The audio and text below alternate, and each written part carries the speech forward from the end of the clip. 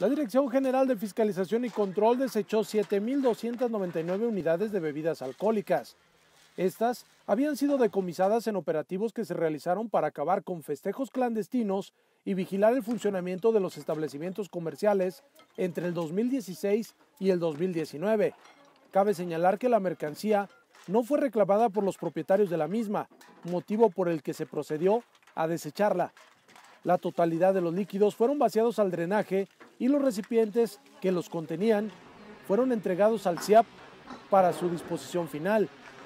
Entre los productos desechados se encontraban 6.782 cervezas, 245 bebidas alcohólicas enlatadas, 42 botellas de tequila, 4 de ron, 22 de vodka, 11 de whisky, 58 de licor, una de charanda, 8 de rompope, 71 de mezcal, 8 de coñac, una de brandy, 8 de pulque, 37 aguas locas y una botella de agua de celaste.